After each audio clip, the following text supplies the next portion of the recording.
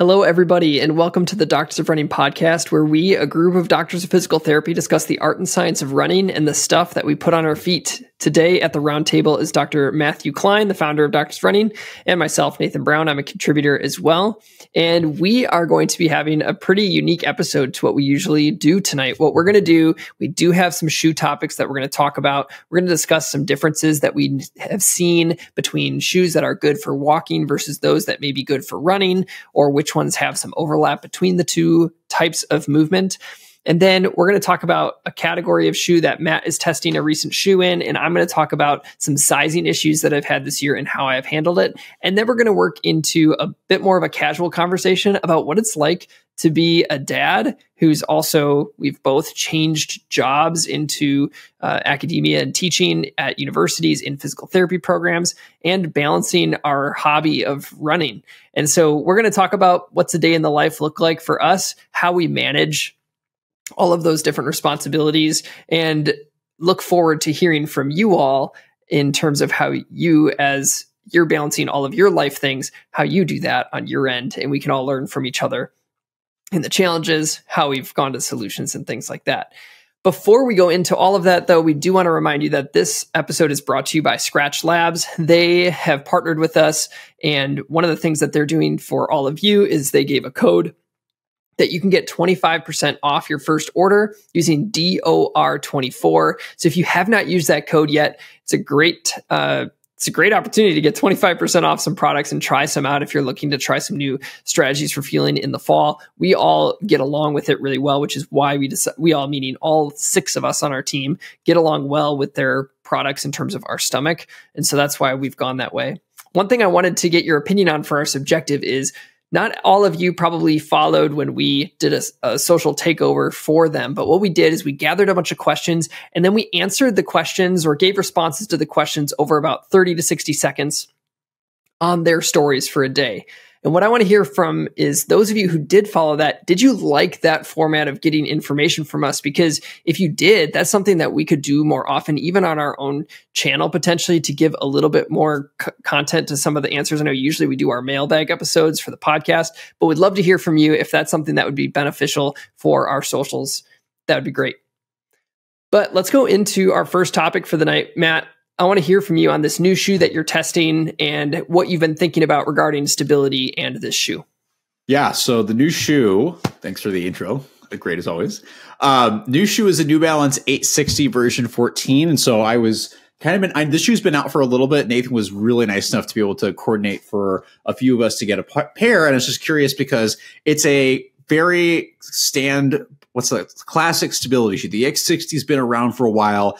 It's been very standard where it's been a medially posted shoe and they stood stood by that until recently where the stability has really changed from what previously was the post now this kind of foam that they're using that if if I was to analyze this actually looks like a wedge. And so what I wanted to talk about as stability is diversifying so much is what's a wedge? What's a post? How does this compare to some of the stable neutral stuff that we're seeing and, and what's going on with that? And the reason I like this is because this design is not common. In fact, the last time I've seen this, this overtly has been the New Balance Vongo, which we really, really enjoyed because of its uniqueness. The version five, people really like. Version six was very different. We kind of lost that unique tool that worked for a lot of people. And so I think it's come back in this shoe, and that's why I wanted to talk about it.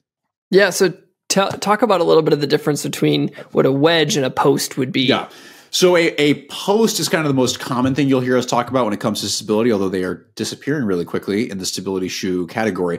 A post is where they take and the Horizon Seven from uh, for those of you who are watching on YouTube can see this, but the Horizon Seven for those listening is a great example of there's just a firmer uh, piece of material on the usually medial side. There's some shoes that actually do it lateral, but a firmer medial bit of material that when your foot like rolls into, if you are moving excessively one direction, it's supposed to be able to help slow down the motion so you can control it better. Doesn't actually stop the motion as we found from the research, but it's just a harder medial piece of material that's just a, a higher density than the rest of the foam. A wedge, wedge is different than that because it's actually slanted so that instead of having a material that your foot just falls into, it collapses. The wedge is actually meant to keep your foot at an angle. So instead of being, you know, if you're thinking like a level surface, the post doesn't change or lift up any part of your foot, right? That yes, the harder you collapse foam, maybe there's some possible changes with that. But the wedge actually holds your foot up at an angle, usually facing a little bit medial, which some people work well with posts. Some people may need that wedge device if, let's say, there's certain parts of your foot anatomy that might be elevated or in a position that raising the ground up to that area actually helps. So the wedge is actually raising things up rather than you having to collapse into the material itself if that yeah, makes sense. Makes a lot of sense. And yeah. Uh, one of the traditional ways that wedges were used clinically was for people with arthritis in their knee. Mm-hmm. They thought that if we could put a wedge that would tilt the foot in a certain way, if it was either in or out, that would yeah. change the angle of your shin, which would change the amount of loading on the inside or outside of the knee. And so it's interesting that it's coming back. I remember one of the first stability shoes that I ran in ever, and this was pre Doctors of Running, was the Brooks Ravenna, and they ah. had they had kind of that wedge uh, strategy as well, and I could feel it. So mm-hmm. when you when you talk about this shoe, how does the feel of the wedge compare to the feel of say what we're seeing in the new GT 2000 from Asics. Yeah.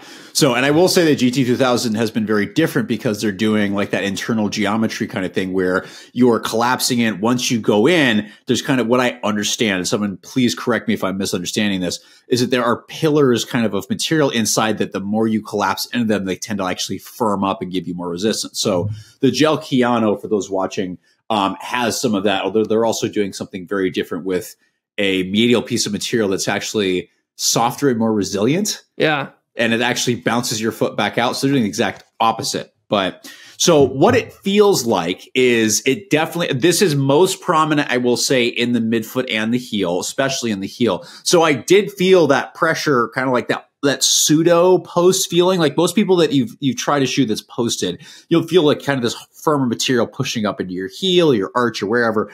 I immediately felt kind of like full leg pressure, especially along the heel and midfoot, and then felt like my foot was just getting slightly tilted out a little bit, which is why I got really excited when I put it on because I'm like, oh, this is a wedge.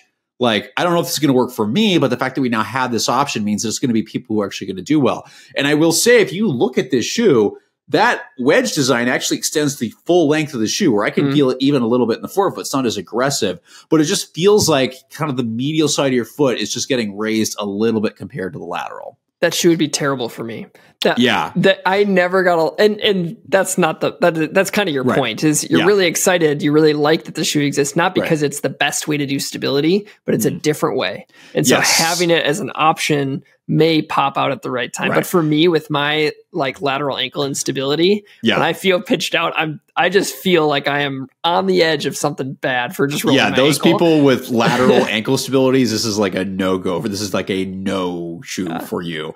Um, it's actually something I'm I'm trying to get miles in right now. But for like for me, I notice when I actually get my I get pitched too far lateral in shoes, my IT band starts yes. to get really grumpy That's at my, my lateral issue. knee. And as soon as I started running in this shoe, I felt that I'm like, okay, I'm already a little like stress isn't the right word, but a little overwhelmed with getting used to a new environment, trying to get used to a new academic position, moving. All of a sudden, like there's, there's, and I'm not sleeping super well. So like there's already a higher threshold of stress. I'm not ready for this shoe yet because I think it might irritate something. So I'm gonna have to back off and see whether it work. But like I said, even though it, I don't know if it's gonna work for me, that doesn't mean it's not a good shoe because it's an option that we haven't seen for a while for certain populations. Right. That's great. Anything else you want to say about the shoe before we move forward? Yeah, it is lighter than I expected. It's still in that kind of like 10, I have to remember the specs, but it's like 10.5, 10.6 ounces. So it's definitely not light, but it's, it feels much lighter and much smoother than the prior version. I think version 13 was kind of a little bit more of that traditional, slightly clunky stability shoe. This has really gotten to that much more rockered, smoother, a little bit stiffer, but adding that wedge component makes it definitely feel like a unique product that I'm very excited to mm-hmm. see and get more miles on and, and hopefully help people that are looking for that specific product find it. Great. If it works for them. Yes. All right. The other thing that we wanted to talk about before we got into the full part of this episode is something that I've experienced this year in terms of shoe fit. And so, something at Doctors of Running that we are trying to improve on and do differently is that if there is a shoe that we get in our typical size and it doesn't fit how we'd want. We like, oh, if only this was a little bit bigger, I might actually like it. what we're going to do is we're going to try to have the opportunity to test in the size up or down depending on what we have going on. So I've done that for two particular models this year, and it's worked out fantastic. Uh, and I and I want to talk about those two. So they are the SC Trainer version three from New Balance and the Deviate three from Puma. And so when I tested the SC Trainer version two, the way that the upper was cut on the lateral side and even on the medial side where it was tapering in, I, I it was too tight and it was encroaching my feet and it was just uncomfortable to run in. I got blisters. It was not not super great. And then I didn't even run in version 2 of the Deviate Nitro because of how low volume the upper was. I just put it on and I've been going through my foot stuff and I was like, I'm not going to do it. So this time I'm usually men's size nine. I got men's size nine and a half. And although both of these probably fit a little bit long, the amount of volume that has been given to me in this early part of the forefoot, and then the taper is now directed further down, it's really fit fantastic for some of those easier, longer efforts and getting kind of some daily mileage stuff out of both of these models. And so I would say for myself, across the board with Puma, half size up is going to be the way that I'm going to go in the future. They've all been fitting a bit snug, especially their racing models for myself. And then with New Balance, I've talked about this on the podcast before, but for the SC line and then even some of their higher end stuff like the Balos and those shoes, they all fit really low volume and have that really severe taper in the forefoot right now. And until they switch their shaping for this these types of models, I'm going to be going half size up. So I'm really glad that I decided to make that decision this year to try half size up for some of these things. Um, and I just wanted to share which two lines of shoes worked well for me with that. I will say, and I, I this is very hypocritical. Um, that we I've talked about before that you should not be married to your traditional shoe size. And I think runners typically tend to be a little bit better about this, trying to get the, kind of the best thing. Um, but as brands come out, there's variations in sizes that happen. Just, you know, one shoe between one brand or one brand or even one model might not fit the same. And you have to be ready to go, you know what? If I actually wanted if this shoe is working for me in all the other parts, I might want to consider a different size just to make sure things are lining up. Comfort's really important. So don't get married to your size. Although I am struggling with that too, because I'm used to being a size 10.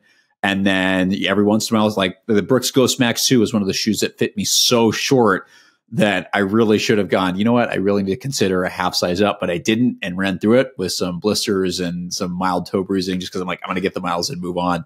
But yeah, we try to make those recommendations. And so I'm also having this weird situation right now where, and people, especially anybody who's been pregnant, knows this a lot better than me, but my feet seem to be chasing shape slowly. And so yeah, I am getting closer to what I suspect to be almost a 10 and a half. And it's funny you said that with the SC Trainer version three, is I've had the same thing where it just fits slightly short and tapered on huh. me. I'm like, should I have done? Yeah. A 10 and a half? The, the one thing yeah. I'll say about this one I, is that the heel is wider. So, mm. like, I have to snug it down a little yeah. bit on the SC trainer. Uh, the volume through the heel and the midfoot is a little big, but the length and volume at the forefoot's awesome. The, this shoe, if I got a size down, I would not be able to run in it because it, it, would. Yeah. This the the Deviate Nitro Three is pretty pretty snug even in this size, but good snug because it's okay. stretchy. It's a stretchy upper, so it feels feels really good. All right, let's transition into our conversation for tonight. It's just like, what's it like being, uh, you know, switching jobs yeah. to being a professor now at George Fox too. You've moved up north a little bit along the coast there, and then you've got new baby, kind of. Now you're over kind a year into year Isabella's yeah. life, right? Yeah. Uh, and then you're also like married, and you've got a new house. And so I want to hear from you just like what does a typical day look like for you juggling all of those different things? Yep. What's the yeah. structure of your day? Yeah, we kind of want to talk about this by the way because we know that being a parent and trying to be a runner and balance this stuff is really hard. And we are also trying to learn as well. But I, I will say, um, one of the easiest things, I'm very lucky that both my wife and I are runners. She's, you know, the pro runner. And so that's kind of how we met.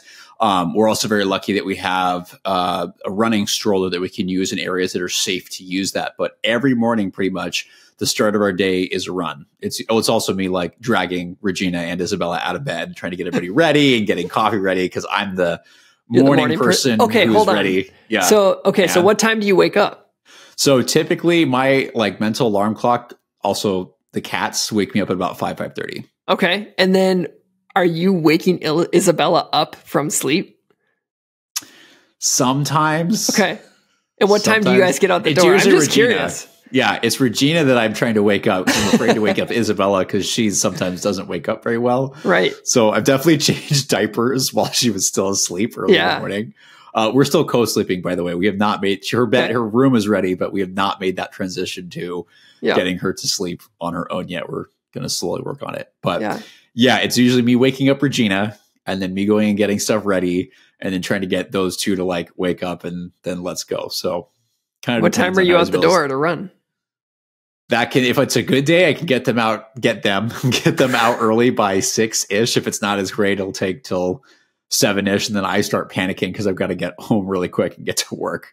Right. Fortunately, I'm lucky. In LA, I had an hour plus drive. Now I have a 10 minute drive to George Fox. So it makes life a little bit better. That's a game But- changer. Yeah. So you go, you So- do that run, you come home, you eat, Yep. shower, Usually shower and then I'm like eating something either that I've made or something compact as I drive to George Fox. Okay. Yeah. Hey, what's your job like right now? I guess it's brand It's- new, but Yeah, it's it's just me. It's been a little bit different in terms of when I was at my previous institution. I was just thrown in. I had to like create courses from scratch and do all this stuff, and it was very overwhelming.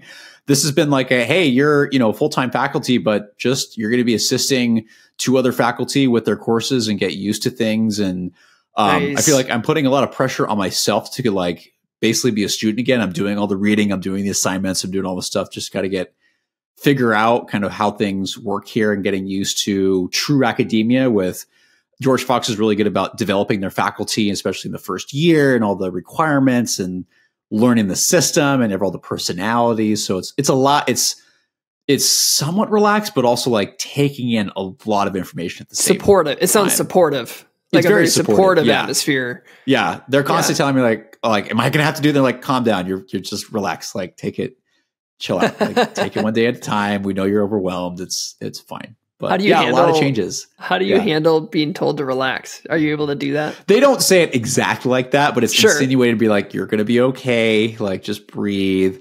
Um, I think it does help me, but like, I'm also the highly caffeinated ADHD, like anxious individual who will create anxieties for himself anyway. So it like somewhat helps. Like, it's like, it's like massage guns or foam rolling. It'll help for about like 15, 20 minutes and then it'll come right back. So What time do you get home after work? it totally depends on what time class ends. So I've got some days where I'm only there for like an hour because this is a brief lecture. There's other days I'm there for like three to four hours from like eight to 12. All my classes thus far have been in the morning. And so the afternoon's off. And so I'll usually rush home, trade places with Regina, and she'll go to work as a board certified behavior analyst. And I'm with Isabella in the afternoon. Okay. So Great. it can be like one, two o'clock usually. Yeah. Yeah. And then do you have, how do you fit in all of the prep and other work that you do? Because the life in academia, what I'm learning is pretty, it's, it's this really unique balance between like really flexible and really demanding where Yes. the, the job is never, ever, ever done in mm-hmm. academia. Whereas my clinic life, like it's the, the, my faculty members that I get to work with are amazing. They're super supportive and they've been doing it much longer than I have. And so there's these idiosyncrasies that I sometimes point out, and they're like, wow, I didn't even think about that. You know, like that's how that works. Like for me, jobs, when I was so used to being a clinician, it was at eight o'clock, the person comes in, at 845, the next person comes in, at 930, the next person comes in, and there's a start and an end to the job. You finish the paperwork and it's a completed task. And the the day was, and I was a staff PT. So it was that was, you know, you you saw the person, you did you helped them as best you could, and you moved forward. Whereas I've noticed that in this new job, there are about 300, 3,000 tasks that need to get completed at some point, and they're never actually ever done. And so you hmm. have to strategically pick what you're going to work on and when. And then I've noticed that I go in with my day with a plan, and then this one little thing pops up, and I actually my whole day was spent on that new thing, and I didn't get anything on my to do list Yeah. done. And I was like, "Have you ever?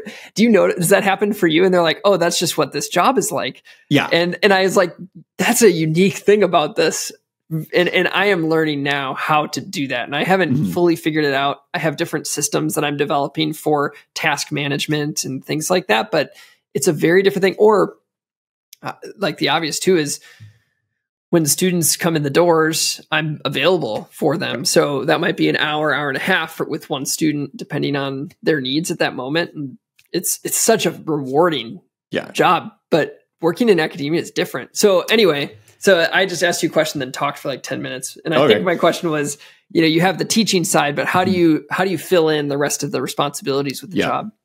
Yeah, I'm still learning that to be honest. like three weeks in, we actually yeah. just finished our first week. We're starting our second week as when this uh, podcast comes out. But it's kind of like I get to it when I can. A lot of it's done when Isabella's asleep and Regina's asleep, so I'm still up in the other room while they're out and like trying to get stuff done and you know seeing how much I can get each day. Um, I think doing a PhD for years really helps because you just like mm. you're just grinding and trying to get it done. But it's challenging having a one year old because you can't just ignore her for long periods. Like she's, you know, it's Regina and I being a parent is really important when to be present for her. So like trying to engage her a lot when she's awake and then waiting for those moments when she's asleep to really get stuff done. But trying to get into deep work in those brief, potentially brief or potentially long moments is really hard. So there's a lot of like trying to get things done when you can. And a lot of it's like, I know of like, hence the, the comment on my IT band and the, and the 860 going, yeah, I'm not getting a lot of sleep right now because that's mostly where I can fit it in. So if I know my sleep's getting sacrificed, I'm at greater risk for injury. So I'm going to be very careful with what I do. I know, right. right? It's one of those, one of those things, you know, it's, yeah, it's kind of random because I'm still building a schedule and having a one year old almost like takes that out. Yeah. So it's when I can. And yeah, it's the 3000 list task that keeps adding more things. You're just like, I, there's some things I can get done. There's something I can't. It's a very unique yeah. job that you mm-hmm. looks like flexible on paper, but there's always something you got to be working on. Right. And how late are you? How are you? Do you stay up late at night, or what's your what's your gig with that? Haven't you noticed some of the Doctors Runnings reviews that get finished at like twelve o'clock at night for some reason? You're like randomly, Bach. By the way, this is done. That I send it out to the entire group, and it's like twelve o'clock, twelve thirty. I'm trying not to do that because I I definitely know the impact of a lack of sleep. But yeah, it's that that after nine o'clock is that rising grind. See how long I can stay awake. and get whatever I can done. But there have been times in our chat where Matt says, "I fell asleep while writing this review. I'll finish yeah. it tomorrow." yeah. so yeah, working on. Um, I feel like we're all works in progress on our. Yeah, uh, we are definitely work in progress. Yeah. yeah, I'm still definitely learning my rhythm. So it's going to change constantly. Do you run every day? Yes, right now every day. Um, I know that's not always advise. We say don't don't always do what we do, but part of it is just I've always done very well with consistency and having some kind of schedule. So Regina and I definitely will run every single morning, whether that's an easy run, a workout, or whatever. It's just part of our day with Isabella in the stroller. Um, there are sometimes that my brain I just need to move again, so I, I do okay, the occasional like shorter double in the evening, and I'll take Isabella with me. Not every day anymore. I've been taking some days where I'm like, I just need it's to just sit with Isabella or I just need to like mess with her or I need to lift some weights. So that's been a good time. But yeah. every morning for sure, with probably three to four doubles, shorter runs in the evening. Mm, cool. Yeah, my my schedule is a little bit different than yours. I would say. Mm. Um, I have not been well. So Jana doesn't run. Um, so I'm I'm the only person who enjoys running at this phase of our, my kids' lives. And so my my pattern is I usually only run right now like three days a week. And when I do run, I wake up at about 445 and try to be able to go to the bathrooms. So I don't have issues on the run. and then uh, I, I usually start my run around 515 and try to get home and showered. Our kids wake up at seven. And so like my goal is to have all of the running stuff done and showered and ready for the day by seven so that when they get up, I can just be there. And so then, yeah, I do that. And then they get up at seven. I usually have quick breakfast with them and then I head out to work. So I usually am getting to work between 7.30 and 8 in the morning. And I hang out there usually somewhere between 4 and 5.30 um, depends on classes, depends on if I'm picking the kids up from school. Um, I guess we're just starting a new semester. I, I drop the kids off once a week and I pick them up once a week from school. And so that puts some parameters on when I leave and come back or whatever to, to leave work. but yeah, then I, I kind of talked about my work rhythms, but what I try to do at work is I, what I'm trying now, because there's so many different tasks, I've tried to categorize them and put blocks in my schedule that are dedicated to those different categories of tasks. So whether if it's class course prep is one like chunk, or for right now, I'm working on my dissertation. So there's a couple dissertation chunks in my day that it's just like everything else should get shut out, just work on the dissertation. And then there's other parts that it's like, okay, office hours, very open for students. And then advising, I have some advisees for school or that are in the first year students. And so I have chunks set aside for that. And I'm trying to chunk my day so that I don't get too scattered because I feel like the most important thing to me is whatever is staring me in the face. And so if I don't dedicate time ahead of ahead of time, I'm going to miss out on doing the thing that's actually most important because I just saw an email and I'm going to go down that rabbit hole. And I found that to be really helpful, but still like I'm working on how to actually make that operationalized. But that's what I'm trying to do right now. But yeah, then I come home in the evening. I never run doubles ever. uh, but yeah, the evenings are like we do dinner as a family and then play until the kids go to bed at seven. And then Jan and I usually hang out um, doing whatever we want to do that night, whether if it's like just sit and read or watch a show or sit outside or whatever it is. And then try to go to bed. I usually am tired, go to bed at like 10, 10 30. But my productivity is terrible in the evening. And so I try to get my as much done as I can during the workday and then shift back home. And right now, you know, like everybody has to figure out their patterns of life. Like for me, um, I can give myself the chunk of like a pretty traditional like workday because Jana is home right now full time and she's loving that. And this is the first year that Ray is starting 4K. So we have all kids in school for at least part of the day, four days a week. Wow. And so Jana is starting to think about like when they're both full time, what do I want my time and energy to look like, but doesn't have any conclusions yet. So I understand mm. that that's a very unique yeah. spot that get, affords me a lot right. of opportunity to compartmentalize my time in ways that not everybody can. Um, but I think what's been most helpful for balance, because running is so healthy for me. I if I'm not running, I'm I in exercising, just like the benefits of exercise and through running, running is my friend time. Like I run with friends every Thursday and Saturday. And so we have, I have enough crazy friends that get up early to run together, which is really nice. And we just have coffee afterwards. Um, so I'd miss out on friend time. I'd miss out on the exercise. And so it's really important to have it in there because I, I would, I probably wouldn't be as good of a dad, husband, worker if I, if I'm not getting all that exercise. And I experienced that in a decent way when I was off uh, with the injury for a while. It just was a little bit different. Um, not devastatingly so, but I could just tell like internally it was a little bit less peace filled and joyful in some ways. But on that line, how have you found that like running has helped you as a professor, dad, parent, husband, whatever, or what ways have they conflicted with each other? Yeah, that's a that's a great question. I'd say it helps because that's been kind of one of the foundations of Regina and I's relationship, right? Like we spend at least once, if not twice a day together. If not, if we're even if we're super busy, those are going to be our major times together. Well, the the second one usually have to pull her, despite being the pro runner, I'll have to pull her out, going, I don't want to run. And I'm like, now you're coming running anyway. um, I think the other great thing is now with it put me pushing the stroller, it becomes like our general family time. So Isabella yeah. can hear us talk. She's she's babbling, she's getting words here and there, but she gets a chance to speak. We respond to her.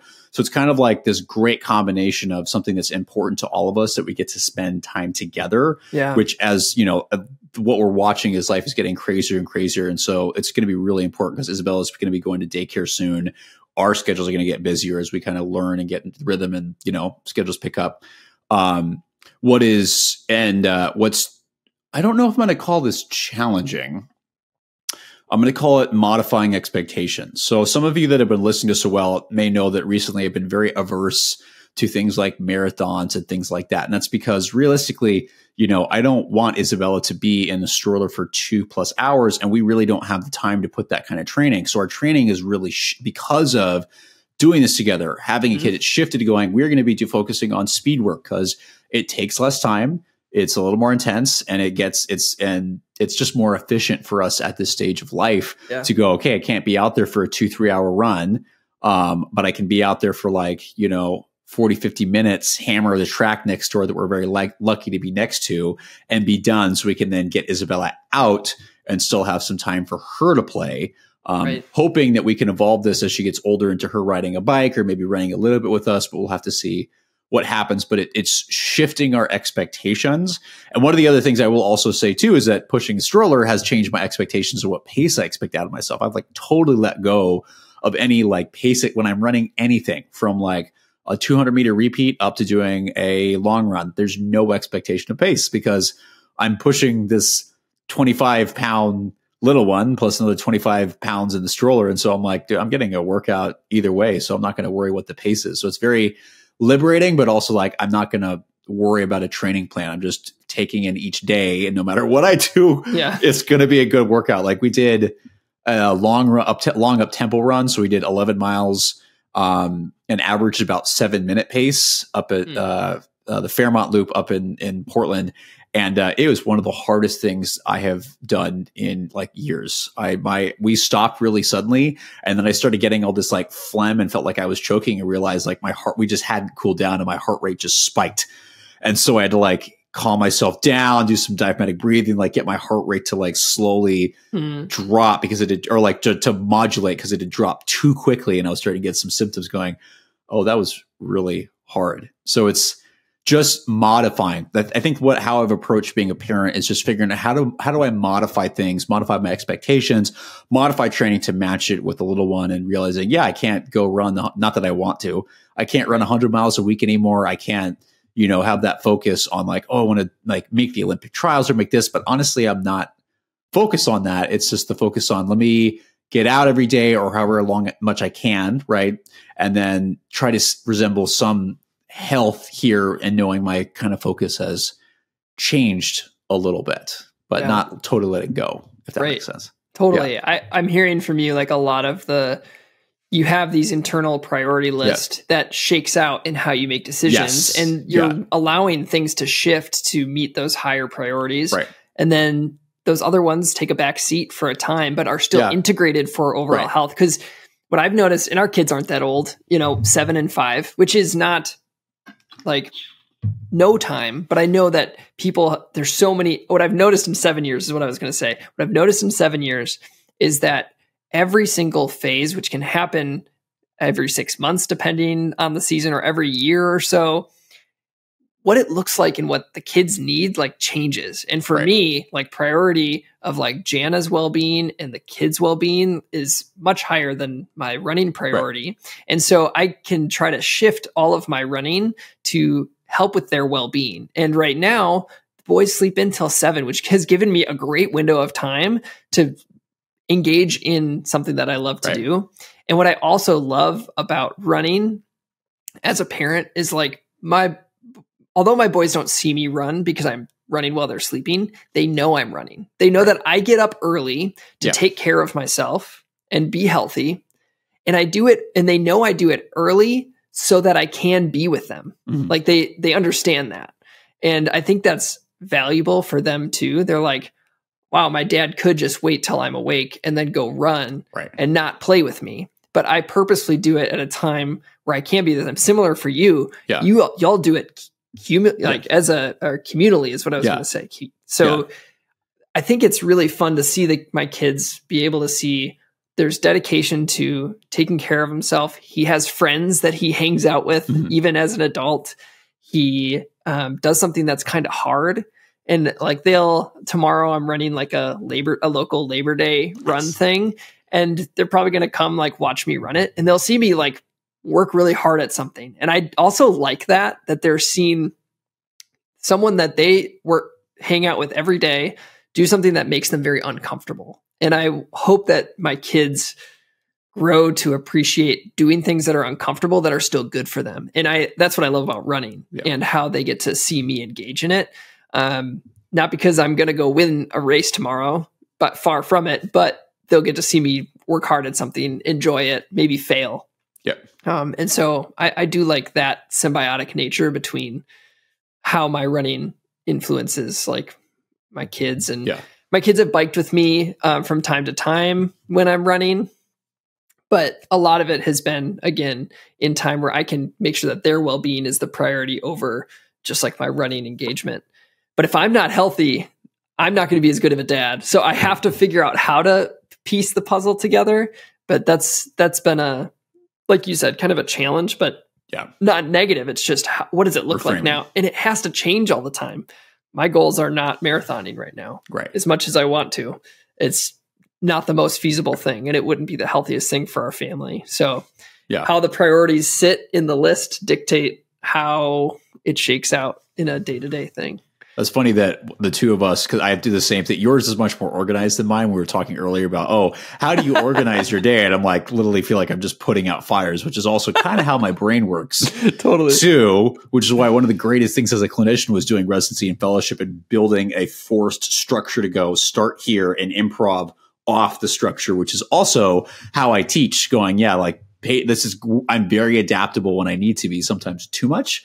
So having a structure to build off of and then being able to go from there is key. And that's the same kind of way that I think about teaching, especially students coming in, as well as like how we're structuring our training right now. It's like there's no like crazy ideas. It's just like here's kind of the basic things we know we need. Let's put those in there and then get creative with trying to adapt it around whatever happens. And I think that's a similar thing. What I've tried to do with some students is, you know, hey, this is kind of how I teach. The my George Fox students haven't quite gotten this out yet because they're just getting small pieces of me as I slowly integrate in. And these are not my courses yet, right? So I'm just I'm assisting and supporting. Right. Um, but I will say, answering your other part of your question, how does that influence how you're a husband, how you're like a professor, is just trying to model that same thing you talked about of getting out for some kind of exercise a couple days a week. I think every grad student, every student gets when they transition, things are really hard, right? Just like being a new parent's really hard. So when you get like you're faced starting a new program with this in, immense intensity going, oh my gosh, this is a doctorate or this is this kind of degree. How am I going to get through this? And it's very easy to fall into the trap of, I just need to study 24 hours a day. I can't be doing anything else. And that's really not healthy. If you Right. get into that situation, your health will, will fall. And you may not actually be the best learner because we know that the best learners are the ones that are actually balanced where they're getting enough sleep, they're exercising, two things that actually help with memory retention, with with uh, memory formation and problem solving and overall health. So hopefully, what I can show the students is yes, I'm still running every day or however often I'm able to, and I'm able to integrate this despite having a very busy life. I want to show you how to take care of yourself and still be uncomfortable at the same time going, I can, I can push, right? Like it's Mhm. okay to be uncomfortable. That's where you grow. And if you seek out appropriate, uh, what's the term I'm looking for? Appropriate situations where you have an opportunity to perform while uncomfortable. It's great. It's, it's like doing an evaluation. I still get anxiety with new patients. Every single person that comes see me, there's still some anxiety that I'm like, am I going to do this well? What's going to happen? And it's like, then you just get into it and things tend to work out. Yeah. So yeah, I would agree. they tend to work out Yeah, because of the work you put in on the front Right. end. It does not just yeah, doesn't just happen. right. So trying to trying so we to just got to get you that. more sleep, is what I'm mm-hmm. hearing. That's the only basically. piece. Yeah. But I also know I chose to be. I was lucky enough. Regina and I chose to be parents, so that was something Yeah. that we knew going in. Was going all right. This is just part of it, and if it's it's an investment in, in another human being, and so we'll make this work and modify this Yeah. as we need to. That's great. I was going to say the same thing about um, about students. Is that being a being a in a teaching or professor role? It's the first time I've had kind of some form of leadership within it, and so within how I develop relationships with the students in our program, I try to lead with a lot of vulnerability and authenticity, so that they see my real life. Because, like you said, physical therapy school is one example of a life season that could take over everything of Yep. you because it's very very demanding and so if i also enter into being currently in grad school again and teaching and having kids and all of these things and i am a super unhealthy person I want them to see when I'm unhealthy so that they can help, you know, see how ways that I have to pull myself back. And I also want to see ways that I promote health within my life because like you said, and our program is really, really good at this in promoting overall like holistic wellness for students and giving them opportunities for that. And uh, it's a challenge. It's a challenge. So I try to mm-hmm. lead with that vulnerability and authenticity so that they can see that I'm not some pedestal person by any yeah, stretch of the imagination. Uh-uh. It's like, oh, he's yeah. a person who happens to be teaching this class uh, with that I happen to be in. So yeah. I can learn alongside of him and right. work with him. So, are there any last things that you want to say about parenting and running before we wrap up? Yeah, I think it, you know what we talked about is how we've tried to integrate this for those who are new parents or maybe struggling with this. The, I think kind of the biggest thing is just being adaptable and modifying your expectations, right? In terms of going, all right, how can I get this integrated into my life if it's possible? Do I need to modify how many days a week? How my relationship with this, right? Like how I involve other people. I'm like, I've been super lucky that Isabella loves the stroller. And so she has no problem. She actually gets pretty excited when we we go and take her out. So to be able to go, right, so you know, this is just going to be part of it. I love pushing that stroller. It's so hard like we live in a decently hilly area again. And so yeah there's like a two mile uphill loop. And i'm like I, I, this is supposed to be an easy run but i'm definitely at a threshold right now just trying to push this stroller up there. And i love every minute of it because i know i'm getting to do it with her. She's getting to see a variety of things. So it's just learning to modify this. And we'll have to see what happens. I i don't i don't have any expectations of myself going i'm going to run this race. I'm going to run this time. It's like yeah I'm just happy to be able to run and maybe like, you know, when she's five, six years old and doesn't fit in the stroller, we're going to have to see how to make this work. Yep. Regina might and I might be waking up at four o'clock like you to see if swap, we can get miles swap in. Swap running times yeah, or yeah. It's so. just you're right. Oh, sorry, I just dropped something. But it's really uh, it's all about adapting. And uh, in my opinion, if if you're pri- if you don't know, I'm not saying one way to make your priorities. I'm saying if you don't know your priorities, somebody's and expectations of everybody involved. That's the other thing. Like communication with Jana and with the boys of like just the why. Because if they had their way, I would never go to work. If right. I had my way, yeah. I'd also never go to work. Right? Like just hanging out with them all day would be mm-hmm. amazing. Mm-hmm. Um, but they understand why I go to work. One that it's like an awesome way to contribute in the lives of our community and like being involved. Two, so that we can like have a house and like a roof over our heads yeah. and food in our refrigerators. So like we bring them into the conversation and then Jana and I have to be on the same page of like how do we each get what we need? Well, we're also both parenting and have full like because her responsibilities that she's taking on right now are crazy too because she works another online job right now too. And so it's it's uh it's all about that communication. Right. If the priority list isn't there, I feel like that's that'd be my starting right. point and I have to redo that a lot too because I realize, oh, just because I say I prioritize it doesn't mean I actually do. Because then, like, I see that like my time is not showing where my priorities are at, or my like, so I have to restructure and rethink about like, oh, I say I prioritize that. How could I actually show it? The the two things based on that I would say for those listening is a this is not easy, and I'm these two things I say to my students as well. None of this stuff is easy. It's it's hard and the other part is we're always learning and always having to adapt. So right. if that's what hopefully people can take from this is going, trying to figure, just keep going, trying to figure out how can I make this work?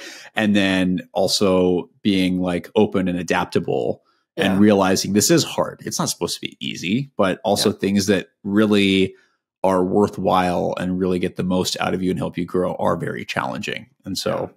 Don't, don't be, af- even though it is hard, don't be afraid of it.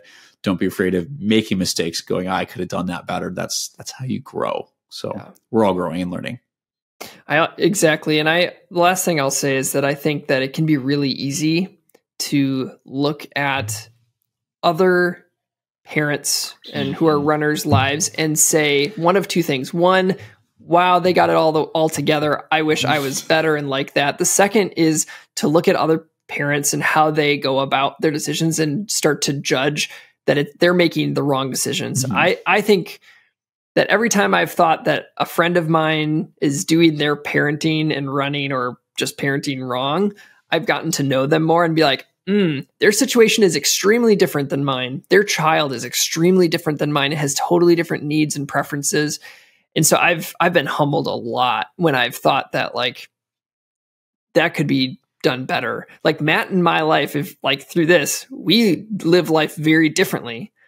And like we have to that's good because we each have very different circumstances. So I feel like it's there's not there's not a playbook to to balance it all well. It's got to be yeah. specific to your values and your yep. circumstances and yeah, focus your on yourself. Family. Yeah, for sure, and know that if you know, typically your life really isn't going to look like a lot of other people's because that's what makes us unique. Right. It's the same thing with PT and footwear. As we're starting to realize how people respond is very different you know how people respond to shoes is very different there's some inherent patterns underneath there but that's why you know people hate this but we say it depends we need more information first to make a recommendation because right. we need more information and that right. information will take us down very different pathways and so absolutely.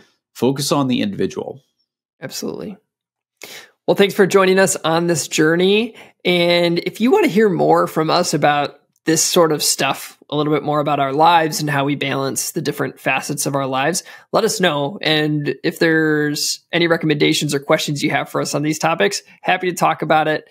And we're just thankful to be able to have a, a podcast like this because it forces us to get together and chat once, pretty much once yep. a week. So it's always fun to be with you, Matt. If you want to be following along with what we're doing regarding Doctors of Running, you can always jump on our website, doctorsofrunning.com, or follow us at Doctors of Running on most social platforms to see what we're doing regarding footwear and other running health related topics. Have a great night, everybody.